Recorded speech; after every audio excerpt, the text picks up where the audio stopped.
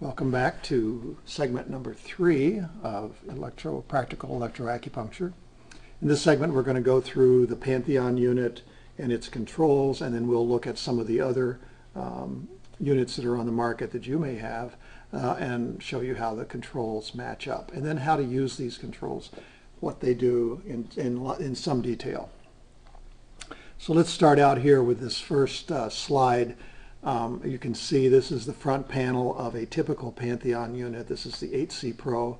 Um, it features um, a timer which the other units don't have. These diagrams I'm going to show you are also in your notes, so you'll be able to pick them out of there and, uh, and refer to them later. But you can see what the, the, uh, the basic uh, controls on the front panel, the intensity knobs across the top. We're going to keep referring to these. The intensity knobs are very important.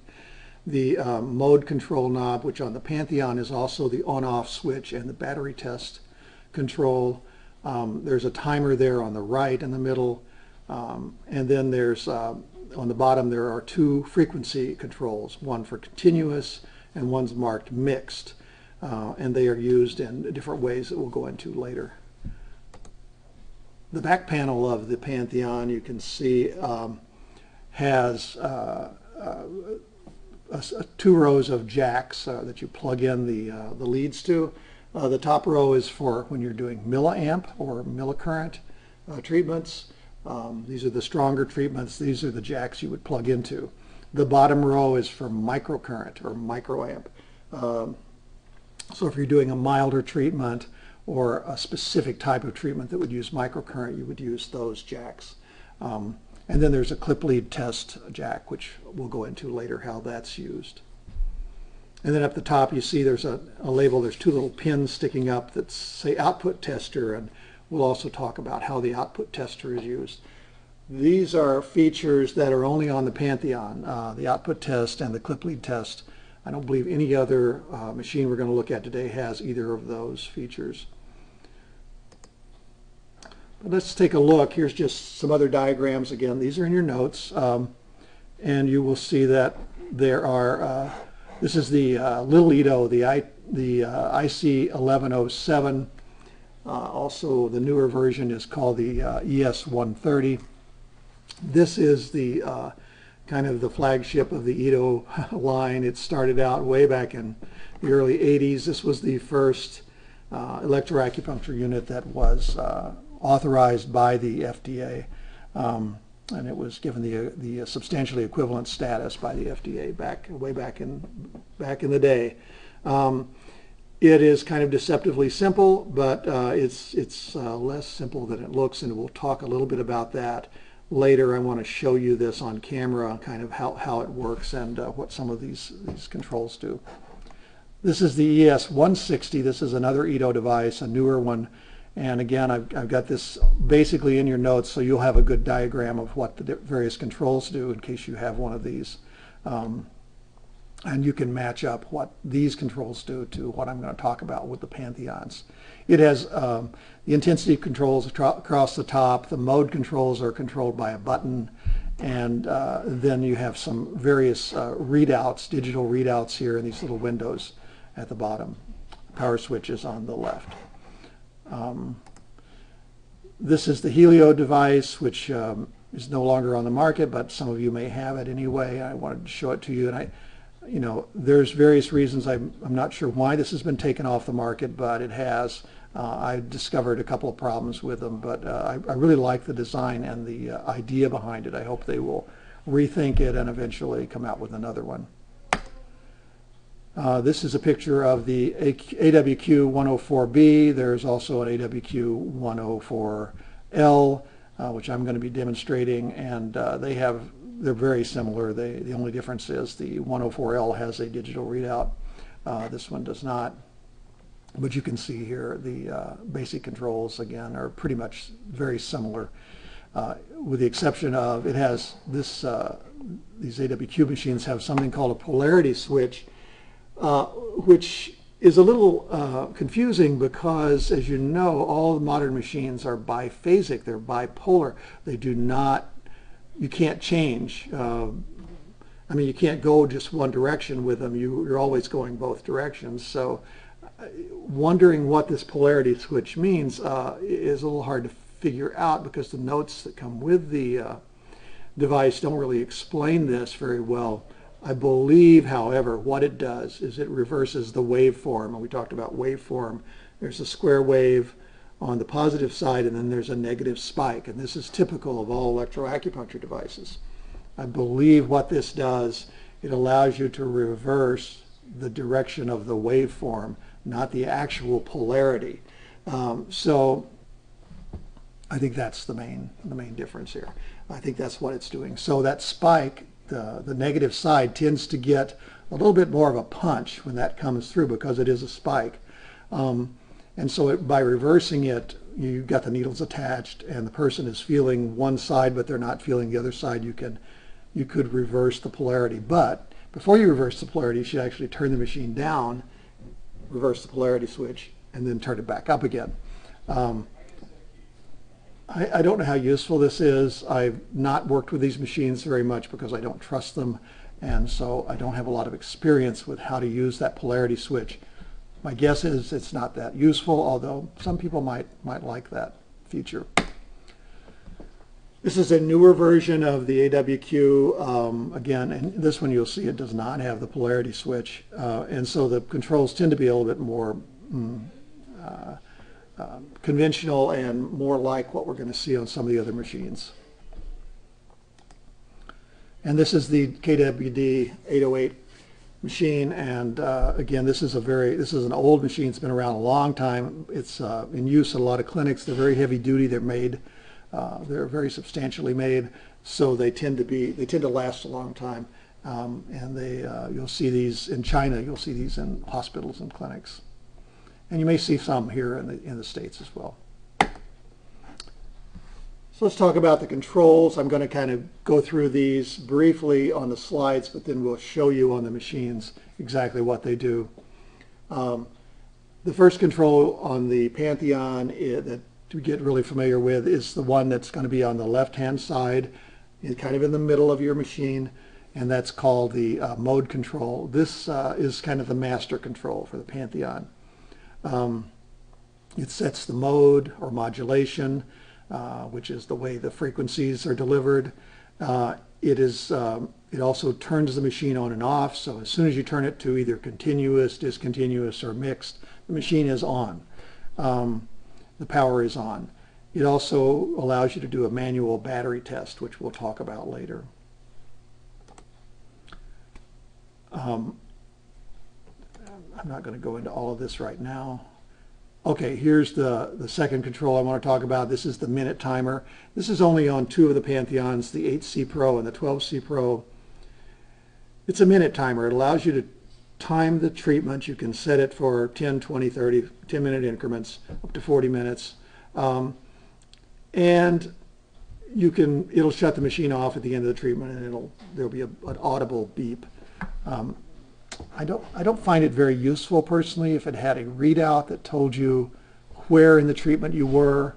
Um, it would be much more useful. I usually set it just beyond the 40. Um, on this control, there's a blank. There's nothing there, but there is another click stop there. And on the newer machines, um, on some of them, they have a little infinity sign in that location, and that allows you to put it into continuous operation. So the machine's just on, and uh, the timer is not functioning, basically, at that point. like I said, I don't find this very useful, um, and I just usually leave it in the infinity position if I'm using a machine that has a timer. Then there are the frequency controls. There are two of these. Uh, the these are important. The the the continuous frequency uh, knob controls the frequency when you are using the continuous mode. It also controls the frequency when you're using the discontinuous mode. So both of those modes are controlled, the frequency is controlled with this knob. So you can set it, you know, at any of these increments from 0.5 hertz up to 200 hertz. Um, if you're using mixed mode, the continuous frequency knob sets the lower of the two frequencies that you're going to be using. So if you're using, say, um, uh, 2 and 100 hertz, you would set the 2 on the continuous knob, and then you'd set the 100 on the mixed knob, which is where we'll go next. The mixed frequency control is only used when you're doing mixed frequency. Um, so if you're using continuous or discontinuous, this this control is not functioning. Um, you can, I usually just leave it at whatever frequency I commonly use for mixed mode, uh, whatever higher frequency I commonly use. Um, and then I can, uh, it's ready to go. Um, what happens with both of these um, is that uh, in, in mixed mode and in discontinuous mode, uh, there's a change every three seconds. So you have three seconds with discontinuous, you have the machine is on for three seconds, delivering whatever frequency you've set for discontinuous, and then it's off for three seconds. And similarly, in mixed mode, it is on one frequency for three seconds, and then it's on the other frequency for three seconds.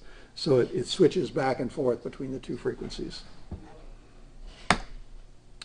The intensity knobs, these are also very important. This is where you're turning up the actual stimulation that's going to the patient. Um, and you can vary the stimulation. You can turn it up and make it the intensity higher, the amperage goes up. Um, so, you know, you want to be careful about these knobs um, in the Pantheon units and in most of the units now. Uh, if one of these is left on and you turn the machine on, the machine will give you an error message and it will, won't function. That's to protect you from the possibility of shocking your patient. So you always want to leave these in the zero position, the off position. That prevents that particular error from happening. Machine comes on and then you turn on the intensity knob later. Each of these regulates one channel. So the first one on the left there regulates channel 1 Second one, channel 2, channel 3, channel 4. If you have a six-channel machine, it's uh, similar to that.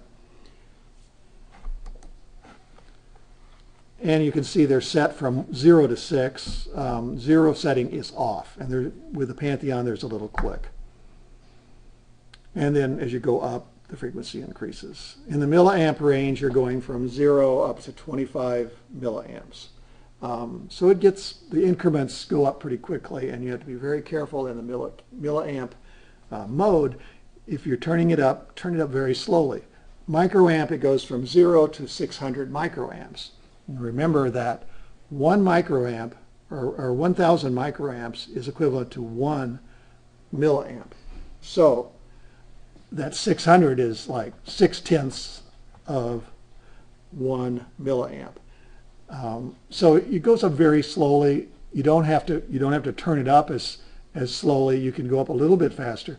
Although I find a lot of patients at around three around this, the three setting, which is probably about 300 uh, microamps, they are feeling something.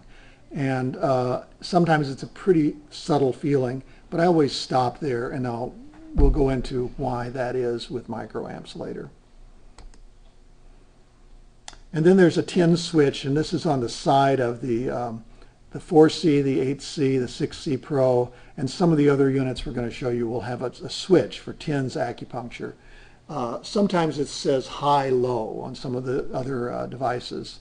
It will say high and low, and basically you want to stay in the low range or in the acupuncture range for delivering electroacupuncture when you're connecting the needles.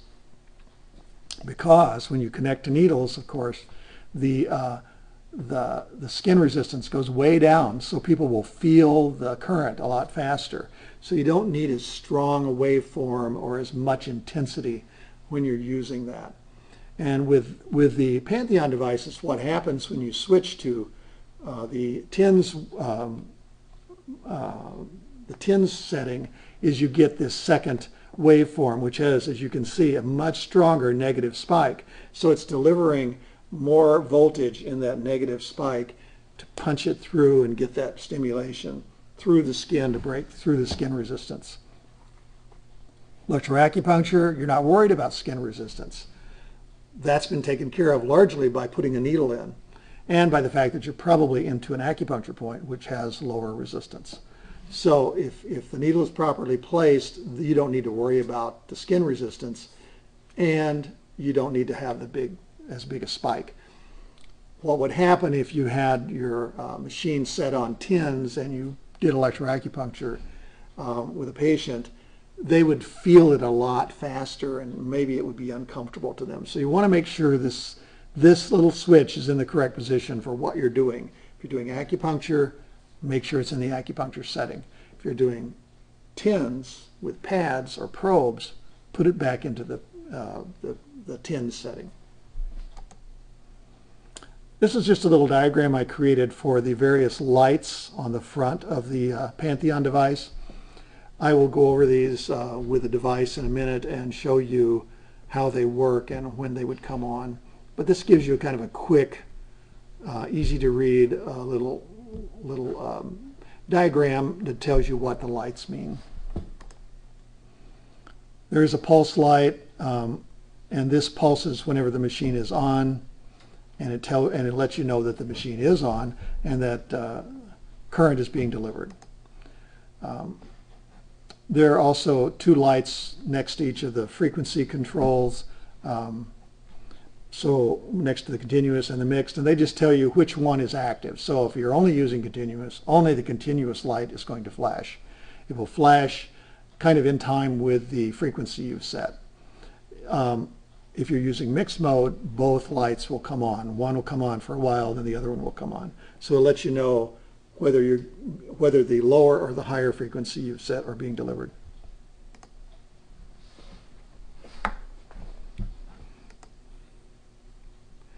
The output jacks, this is on the back panel of the uh, machine. You can see there are output jacks, the milliamp and the microamp. And this is pretty self-evident. You plug into whichever one you're wanting to do.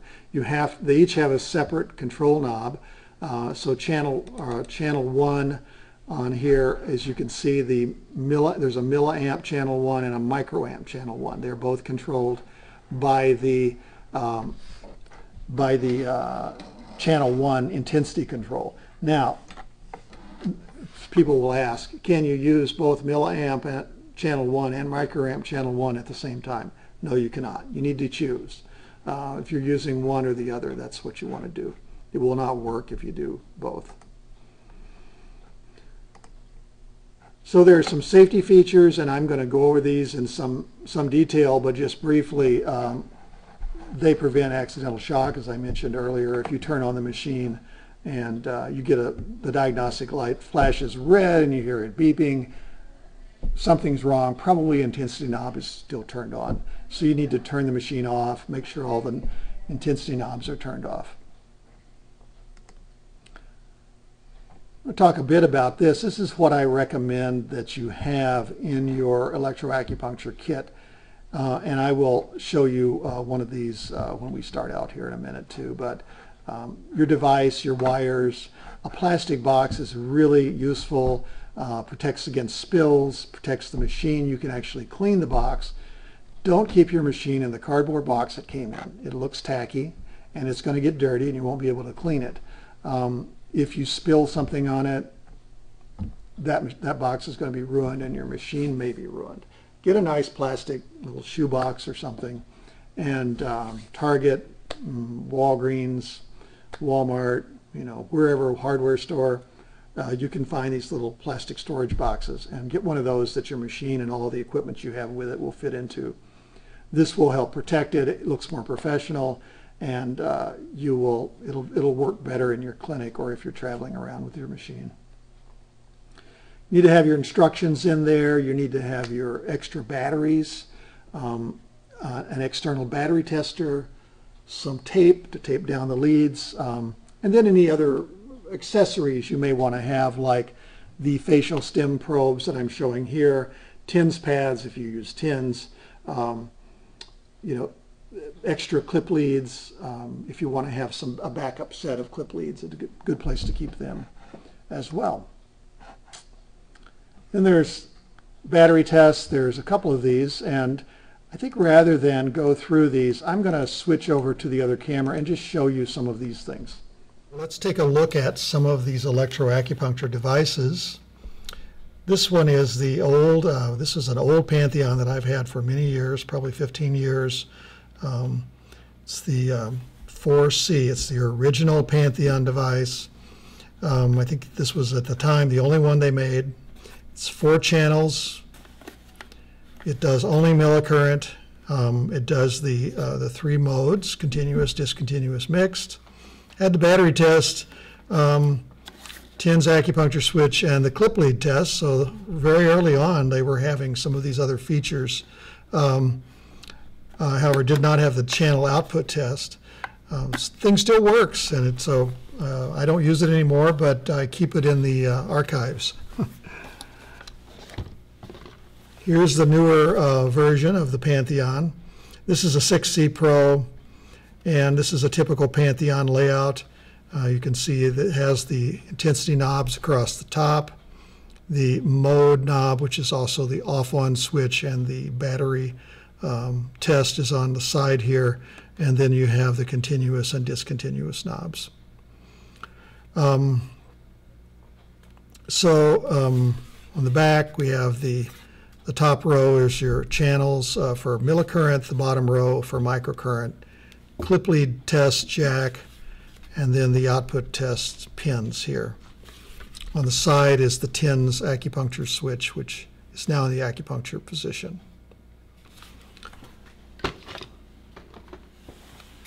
Eight C Pro.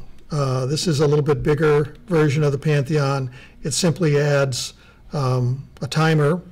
In this case, it has the infinity mark, which puts the timer into continuous operation. So basically deactivates the timer. Um, and the machine, when you turn it on, it just stays on until you turn it off. Otherwise, you could set it to uh, 10, 20, 30, 40 minutes, and after the, the duration of that time, it would turn itself off. Um, uh, the other the controls are exactly the same. Uh, the only difference with this one is it has two more microcurrent channels on the back uh, so with 4 microcurrent and 4 millicurrent, uh, hence 8C or 8 channel uh, 8C Pro. And this is kind of the top of the line for uh, Pantheon's um, electroacupuncture devices. This is the 12C Pro.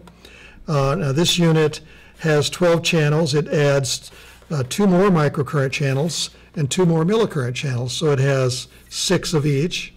Um, and then, of course, the clip lead test. The front panel here is very similar to the other units. Intensity knobs on the top, the on-off uh, mode control with the battery test is here on the right. The uh, timer, in this case, the timer does not have the infinity mark, so but there is a click stop past 40 that you can turn it to, and that is the same as infinity on the other unit. And then the two frequency controls. One difference is the 8 or the 12C Pro does not have the TENS acupuncture switch on the side. These machines are made simply for doing electroacupuncture. They are not designed to do uh, TENS and they won't do TENS. So they don't have that other waveform. Uh, hence the name PENS, percutaneous electroacupuncture uh, nerve stimulator. Um, that's all they do is electroacupuncture or PENS. I'm going to go back and show you the, um, just back to the 6C Pro here. I want to show you all the different tests you can do. Uh, so for battery tests, when you turn the machine on, it automatically does a battery test. Um, and we'll, we'll just turn it on here. And you'll see there's a slight delay before the lights start flashing. That's because it's running an internal automatic battery test and once the light's flashing, it's checked the battery, determined the battery's okay, and it's uh, starting to deliver current. The other thing you can do is a manual battery test. So you turn this mode control knob all the way to bat test or battery test, and you wait a few minutes or a few seconds, and then the light comes on, the diagnostic light comes on. It's green now. That means the battery's good. If the battery were bad or low, it would come on red. If there were no power at all, the batteries were completely dead, you would get no lights coming on. in the automatic mode, it's the same thing. If you turn this on, rather than these lights just starting to flash, uh, if it were low battery, the, the, this diagnostic light would come on red, and that would tell you that the battery's low and you should not do the treatment. Um, so that's the battery test. The other thing I want to say about battery tests is sometimes with these units, um, you could have one good battery and one bad battery. In those cases, all of the internal battery tests, the automatic and manual, would probably tell you the batteries were good because one is good and it would fool the machine. But then if you start the treatment, you'll find that a minute or so into the treatment, the diagnostic light has come on red and the treatment has stopped. The reason for that is because one battery is good, one's bad. It's the only time I find that the internal battery test doesn't work. In that case, you need to have an external battery tester. Um, and you can get these at places like Radio Shack, hardware stores, some drugstores even. Uh, in the battery department, they may have these. They're cheap, they're only about five bucks or less. Uh, so you can just hook up your battery and you can get a little readout here that tells you there that the battery is good. Um, if the battery were bad, it would be at the low end of that green or in the yellow. Um, if it were dead, it wouldn't even go at all. It would, you would get nothing like, like that. So there it tells you that's a good battery. I recommend having one of these. I keep one in my uh, electroacupuncture kit just um, to be able to check batteries. I also keep some spare batteries uh, just in case. The other thing about um, next to the batteries, batteries can go bad. The other thing that goes bad occasionally are the clip leads. And the clip leads, as you can see, these are pretty thin pieces of wire. Um, and so it's easy for them to get stress, stressed, and then you develop a short. And the short could be either, it's usually at one end or the other, near the connectors or near the uh, clips themselves. Um, and since the wires are so thin, it's sometimes uh, hard to tell uh, that there's actually a problem until you find that you know you're turning up the um, the power and the patient doesn't feel anything and you see nothing. So these machines allow you to do a clip lead test. So again, you take this jack, you plug it into the clip test jack on the back. It's the only time you use the clip test. Turn the machine on. Wait for the lights to begin flashing, and then you test the two clip leads by touching them together. Now in this case, I think this has a short. If I play around with it, yeah, you can see it comes on and then it goes off. That's because there's a short on one end or the other of this uh, clip lead. So this one's not coming on, the diagnostic light's not lighting up, and that tells me that this is a bad pair of leads. Now I'll show you a good pair, just to see the difference.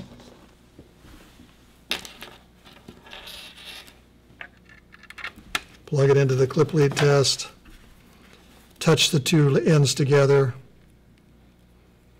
Hmm. Another bad pair. Let's try one more. James has to edit. Okay. Let's see if this one's good. Plug that one in. Take the two, um, the two clip leads, touch them together, and there you can see the light is nice, bright green. That means this is a good clip lead as opposed to the red one I was just testing. It didn't come on at all. So that's how you test the clip leads. The other test that uh, this allows uh, is for a rarer consequence, and that is if you've you've been giving the treatment, you test the clip leads, they're good, and then you wonder, well, maybe there's something wrong with that channel. You were using channel two maybe, and channel two didn't deliver any current. You can actually test channel two. So you, in this case, you plug in to channel two, taking your clip leads that you know are good, you attach them to these two little pins at the top of the unit.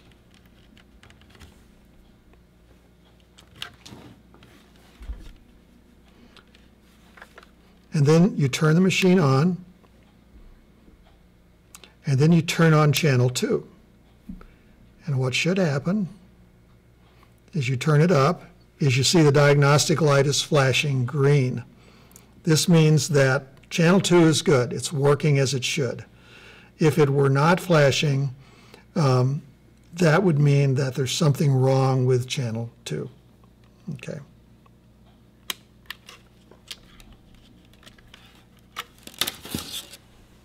And then the built-in safety feature that comes with all the Pantheons that would keep you from shocking your patient. The, the way you could do that, and some of the older machines don't have this feature, you could leave one of these intensity knobs on. You hook everything up, you get the patient hooked up to the, with the needles, and then you turn on the machine. With the Pantheon, the machine will not come on. This red light comes on and it tells you that the machine's not functioning and you've made an error, operator error. So in that case, you just simply turn this knob off, turn the machine off, and then start over. Turn it back on, and then you should be able then to turn the intensity up without a problem. If you've left it on, though, it won't work. And some of the other machines have this feature now as well. So let's take a look at some of these other devices here. This is the, um, the little Ito, we call this, the IC1107. The new version of this is the ES130. It's basically an identical machine with simply a cosmetic change of a new a color on the faceplate, a new cover, color for the plastic body. As you can see, it's about the size of a pack of cigarettes or a transistor radio. It's, these were the original uh, FDA-approved um, uh, substantially equivalent to a TENS unit. These were the original FDA-approved uh, electroacupuncture devices. They seem to be very simple because they're so, so few controls compared to the other machines. However, um, that simplicity is deceptive because there are some there are frequently operator errors that happen with these that are so common. These are the um, these three knobs here control the intensity to the three channels. This machine only does continuous, so there's no mode knob to select anything other than continuous. That's all it does. There's a frequency switch here that goes low, medium, and high, and then there's a frequency control knob here that goes from S through 10. Um, and it's a sort of a smooth flow, it's, there's no click stops. To set the frequency on this device, you have to first set low, medium, or high, you have to look, read off this little uh, table here. What is low if you're on the 2 setting? It's not 2 hertz. On low, it's 1.3 hertz. On medium, 2 would be 23 hertz. And then on high, uh, 2 would be 170 hertz. So you can see that the, the frequency switch here is very important to understand uh, because you get different frequencies depending on uh, where you've set this switch. The other thing about this is when you're setting the frequency, as you can see, there's a little, um, this, this scrolls around. It's the numbers you set in that little window, and it's a little bit, you know, you're eyeballing it. And so it's difficult for people to get that number exactly at, say, four, if you're trying to do four hertz. Um, uh, arriving at exactly four is, is very difficult. You can get close, but it's, it's difficult to get it precisely. That's one of the reasons on the Niemtzow test, uh, he did not recommend this device because it was difficult to set it properly. Um, a lot of people use these, they last forever. This one's been around probably for 20 years, and um, they still work and they do just fine. Um, this one on the back, I'm going to show you, it has uh, high, low, and this is where you set low for acupuncture, high for electro or for uh, TENS. So you can use these for TENS or acupuncture. These also have a battery test feature. So you can you turn on one of the channels and then you push this little button and the green light comes on to tell you that the battery is good. Um, so they, they have a few nice sophisticated features in a very small device, but it's difficult to be precise with these. I don't recommend them for that reason. Oh, and they take a proprietary um, jack um, for their uh, clip leads. So if one of your clip leads goes bad or breaks, you're going to have to buy a new one from Ito or from one of their representatives.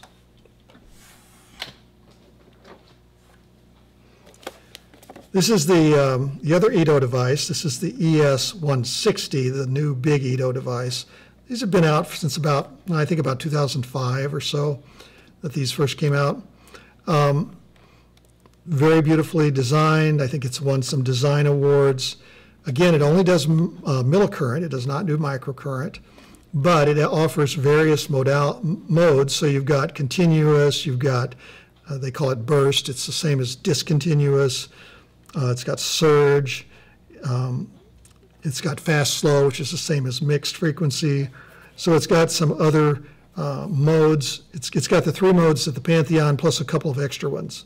Um, the two extra ones are surge and sweep, which also mix different frequencies. And then it has programmed modes that you can uh, program yourself, and I think there's actually some built-in programs. The off-on switch is over here, this orange button turns the machine on. There's a frequency setting here that can go up and down with these arrows, and there's a readout. Um, on the on the uh, right side here, there's a timer, which again, it's a dig. This is a much more useful timer than the Pantheon. Uh, it has a, uh, arrows to set it up and down, and then you have a readout to tell you where you are in the uh, treatment. And then there's uh, this is the the pulse duration switch, which tells you how long the pulse duration is. In this case, it's set for 250 nanoseconds, very short pulse duration. Most machines are preset to 250 nanoseconds. I think the Pantheons are all set there. Why you would want to change this, I'm not sure, but this machine does allow you to change it. On the bottom, there's a switch to turn the speaker on and off. Uh, this, these uh, buttons here allow you to store things in memory and retrieve them in the programmed mode. There is a battery test here that you, when you push it, it tells you, in this case, the battery is full. So the batteries are good in this one. Intensity knobs across the top. It does have a, um, um, in this setting here for um, point detection, and it detects the electrical resistance of the points and you can do treatment through that using the Ryodoraku system, um, which this machine is designed for. And then here are the output jacks. And again, it has a proprietary jack, which is different from the Little Ito proprietary jack. Uh, so you can't interchange them. You have to have the one that's specific to this machine. Um, so you know, again, if you break one, you're, you're, uh, you're going to have to buy a, a new one from Ito or from their representatives. On the side here is a high-low switch, which uh, lets it go from uh, low for acupuncture to high for TENS. Nice machine. They're kind of expensive. They're about $700 now, I think, uh, seven or eight. And, um, but they work well and they, they go forever. This machine is the Helio device um, that I mentioned in the lecture, and this is, um, Helio is a great company, and they've come out with some nice things. They had an old electroacupuncture device that was one of the original devices that everybody used. Uh, that's no longer on the market. They tried to come out with these, and they've had production problems with them.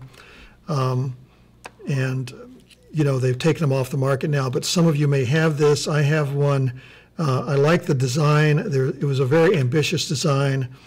It took some elements of the uh, the ES-160 Ito machine and some elements of the Pantheon and kind of combined them. Design-wise, it looks more like the Ito, but it also has microcurrent, which is more like uh, what you see in the um, Pantheon. So it has both millicurrent and microcurrent, and it has some of the same features as the Ito. It has all the same modes available um, and they are accessed the same way. It also has some programming that you can store here and retrieve. Um, it has the ability over here to change the waveform, and pretty much you're not going to want to do that unless you're going to want to let the machine do that for you because you want a certain waveform for um, microcurrent or millicurrent or for TENS or um, uh, acupuncture. So you pretty much leave that where it is. Uh, this machine does not have a high-low uh, switch for TENS and electroacupuncture. The battery uh, readout is right here, tells you, shows you that the battery is full. Uh, there's a timer, again, a digital timer, which is more useful. These two channels on this side, uh, this is where you would turn up the intensity. You set the frequency with these arrows, and um, on this, and the same on this side. These are the intensity knobs, and you set the frequency with the arrows, and um, it goes through here. What you'll notice about that is these two are millicurrent or microcurrent, and these two are millicurrent or microcurrent. So you could do two millicurrent over here and two microcurrent over here. Um, and so you could be doing both millicurrent and microcurrent at the same time, much like you could do with the Pantheon devices.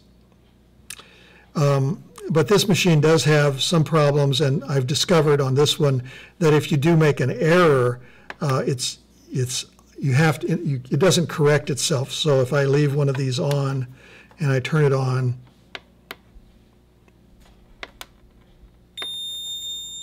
you get the error mo mode, which is correct. It should tell you that there's a, you made a mistake, but when you turn it off, it doesn't go off. And when you push this button, again, it doesn't go off. Um, so I try pushing a lot of buttons, nothing happens. The only way to get that little beep to stop is to turn the machine over, take out a battery. so I think that's probably one of the design problems they had with this device. Again, ambitious device, but some problems with implementation, and now it's now off the market. Um, but if you didn't make that mistake, or if you knew how to correct it, it, it probably works fine otherwise.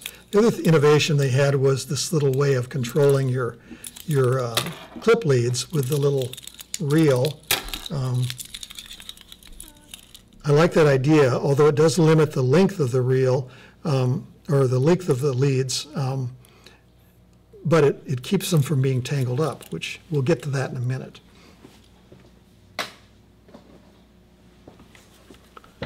Chinese device, this the, the AQWs, these are AWQ 104L. These have been around for a while. Um, there's various uh, iterations of this machine. Some don't have the um, little digital readout here, some do. Um, these are the Chinese machines that are very cheap, usually $100 or $200 or less, um, but they have a lot of problems. And in Niemtzow's test, these machines did not do very well. And I'll show you some of the features here. Here's the on-off switch. Um, so it's on there. Um, then here we have the um, high-low, which is where you would choose uh, for TENS or electroacupuncture. It has a frequency boost here, so it goes from 1 to 10. So 1, this would be lower frequency, and then 10 would be boosting it by 10 times. There are two frequency control knobs. As far as I can tell, the way you get uh, continuous, discontinuous, and mixed on this machine is by setting these knobs. If you leave the second knob, uh, the one they call dis, if you leave that at zero, you are getting only, and you only turn up this one knob, you get continuous frequency at this, at the hertz you've set. And you can see there's a digital readout of the hertz. If you wanted to set say, the, the lower frequency here to, see if we can get it to 2. As you can see, I've set it on 2. What I thought was 2, now it's 4. Now it's 3. Now it's 4. So it's not very precise. And then if you set the second frequency, you start to get a mixed mixture between two different frequencies. But if you observe the little readout, those frequencies are really jumping around. And this is what Niemtzow said about this device. Uh, you could not rely on the frequencies um, to be doing what you wanted to do. Um, it has a, uh, the four intensity knobs are here, and, uh, and then it has these polarity switches, which basically just reverse the waveforms. So the negative spike becomes a positive spike. This machine does not have the kind of safety features we saw in the others. If you have the intensity knob turned on, you've got it hooked up to your patient, ready to start the treatment, and you turn it on, it just starts the treatment. There is no safety feature there to prevent you from shocking your patient. And this is why a lot of people don't like this machine. And even uh, if you do everything right, you will sometimes get shocked, your patient. And I've heard of practitioners actually shocking themselves with these machines. So I don't recommend these. Uh, they're cheap. Uh, a lot of people have them. Some people have had good luck with them, and it probably just is luck of the draw. If you got a good production run of them and they turned out to be work well, and you didn't make any mistakes that you needed the machine to help you with, um, that would be fine.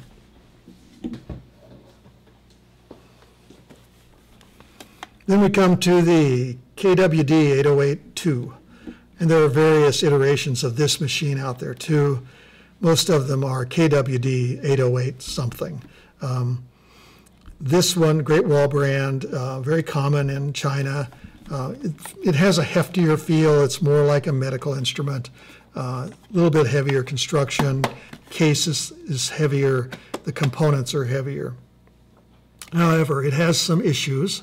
Um, uh, one of the things that I find interesting about it, if I turn it on here, um, so you select the mode here with these buttons, uh, and let's just pick, um, this is the continuous mode. This light comes on here, and you think, well, maybe that's giving you a readout of something, but really it's just a little LED to tell you you're in that mode.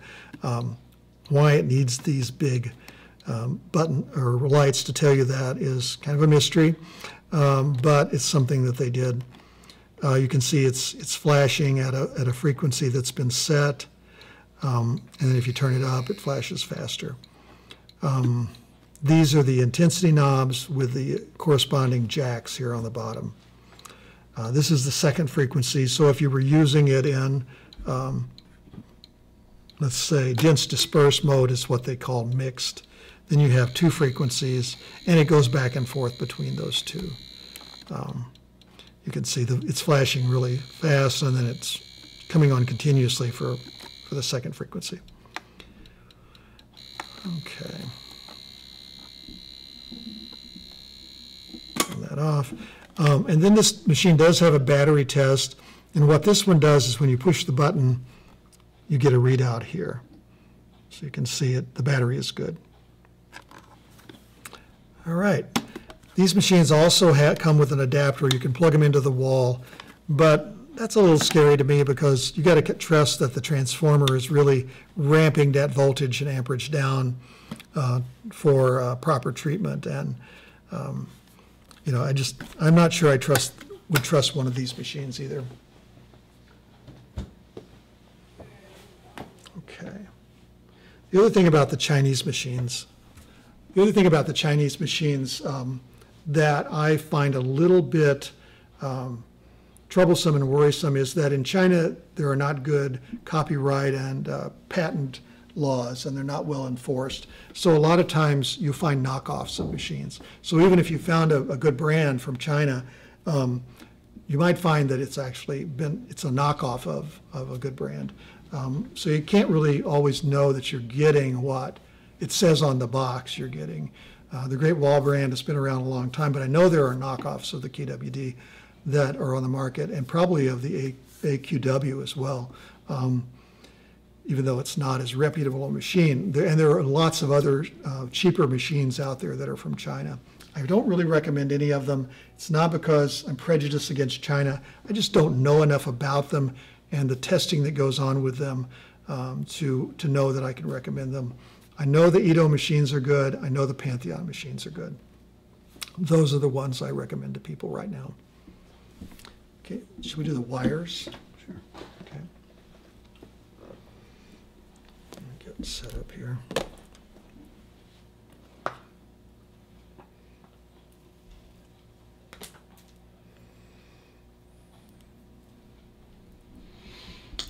Is that gonna be something that happens here or down there? Uh, it's kind of going to be, Okay. it's going to need a little bit more room.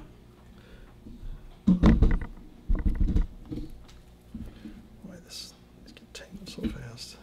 Not working somewhere. Out of here.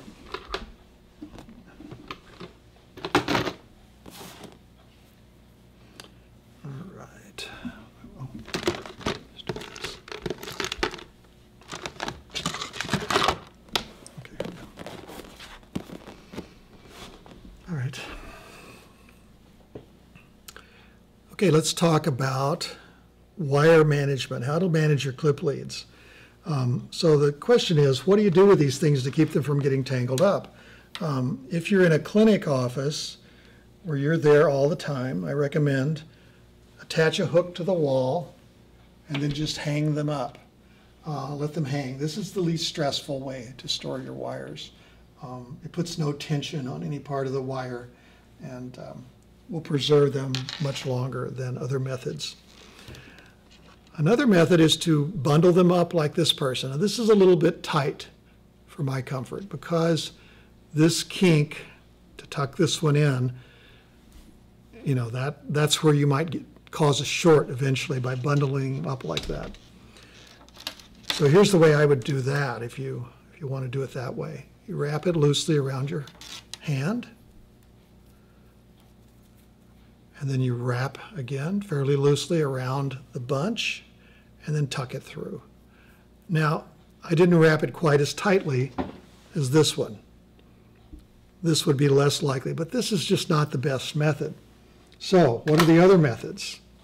Wrap it up, as we did, but don't tuck anything through. Use a little twisty. Now, these come, I think you get these in hardware stores and sporting goods stores. And you can just wrap that around the wire and let that hold the wire. That is, puts much less stress on any part of the wire.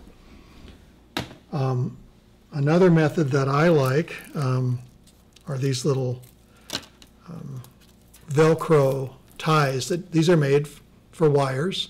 And again, it's just this one just attaches to the wire, which keeps it handy, 'cause you don't have to look for it. Um, And then you're just wrapping the wire up like we did before, and then just using the little Velcro strap uh, to wrap around the wire and create a little bundle. But one of my colleagues loves earbud holders. So we have these now. Um, This is probably the most expensive way to store your wires, but it probably is actually the safest. Um, You just tuck the clips in, you wrap the wire around it.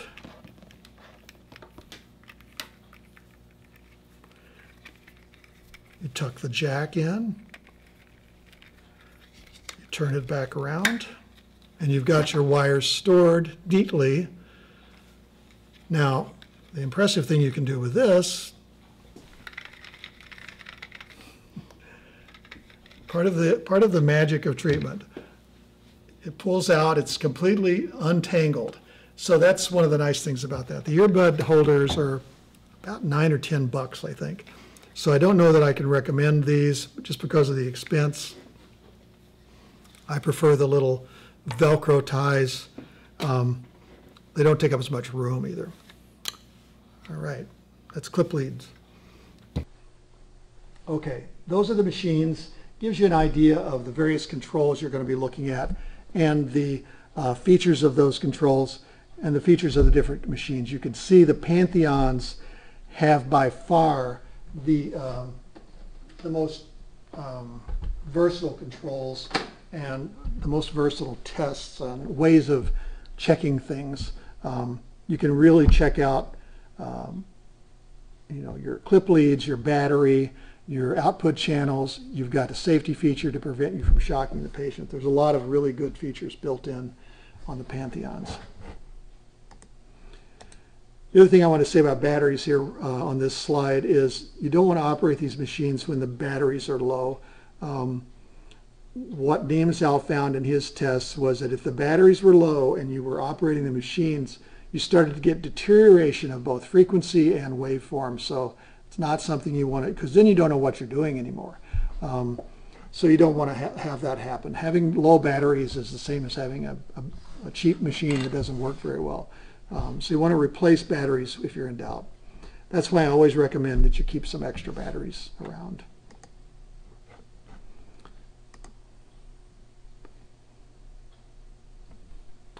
The Pantheon machines use two 9 volt batteries.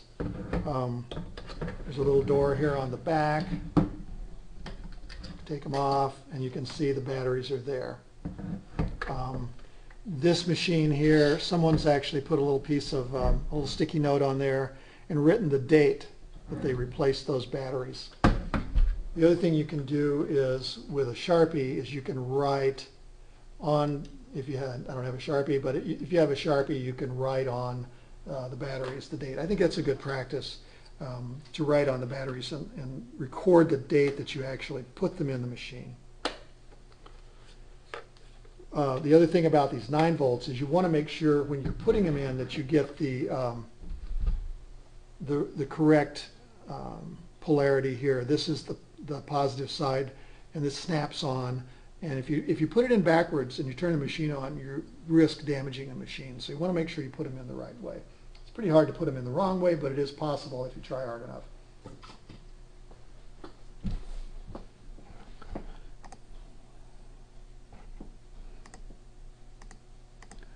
We talked about the clip leads and just here's the notes about that and the clip lead test, um, the output test. Good safety habits. When you're using these machines, make sure the device is off when you finish. Turn the main control to off. Turn all the intensity knobs to off. Leave, get in the practice of just doing that at the end of each session. You don't really need to, to change the frequency settings. You can leave them at frequencies that you commonly use. You don't need to zero them out. Um, but the, the mode knob and the intensity knobs should all be turned off at the end of each session. Now let's talk about cautions, contraindications for electroacupuncture.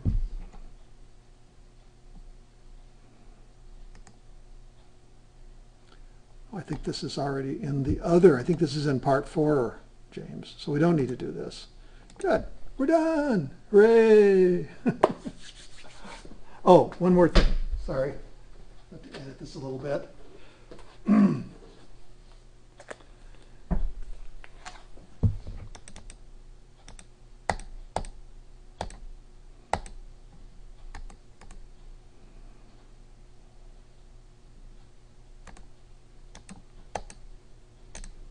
Actually, I think I talk about the good safety habits at the beginning of part four.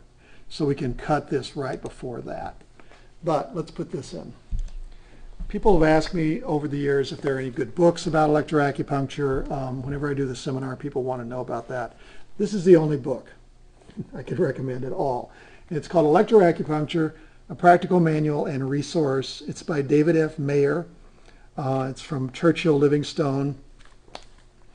This was published, I'm trying to remember, in the late um, 2007. So it's, um, you know, about seven, eight years ago. And this is a very thorough book. It's kind of encyclopedic. It actually comes with a separate CD-ROM with lots of reference material and research. Um, of course, it's somewhat dated now, but this book is probably the um, the best resource that I've found uh, for electroacupuncture. It's quite expensive. I can't remember. It's around 100 bucks, I think. Um, I keep threatening to write a new book, which is much simpler and more about treatment. Uh, this book goes into everything. He defines electroacupuncture more broadly. He looks at every aspect, lasers, uh, microcurrent, millicurrent, all kinds of devices. Um, he's he's in England, so he's looking at stuff that's not available even in the United States. So um, I, I recommend it with some hesitancy. I would say if you're really into this and you have to have a reference, this would be a book to get. Otherwise, uh, you could actually just go on PubMed and online and look at research that's there, and you could find plenty of good references on electrotreatments. Um, and someday I may write the book, uh, the simplified practical electroacupuncture book that needs to be out there for students and for practitioners. Um, but this book is, is good, and I, I have used it myself quite a bit. Okay, that's that. All right, let's see. I want to do something um, to wrap up.